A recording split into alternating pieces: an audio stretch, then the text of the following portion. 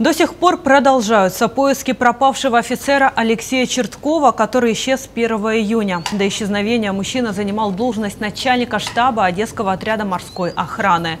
В ведомстве говорят, что следователи начали опрашивать коллег Алексея. Ранее пограничники сообщали, что не считают офицера дезертиром. На момент исчезновения его отстранили от должности, но не уволили. В СМИ также появилась информация, что Алексей Чертков перед исчезновением якобы одолжил одолжил большую сумму у сослуживцев, а также, что он сбежал в Россию, в пользу которой шпионил. Пока фактических доказательств той или иной версии следователи не обнародовали.